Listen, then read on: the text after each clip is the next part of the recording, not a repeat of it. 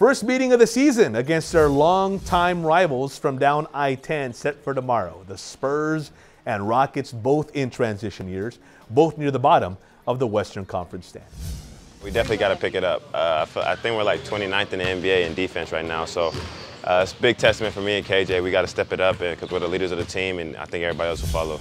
It's the first of four meetings between the two rebuilding Lone Star franchises. They'll meet again in Houston in about a week and a half, and they're going to play a home and home on back to back nights in early March.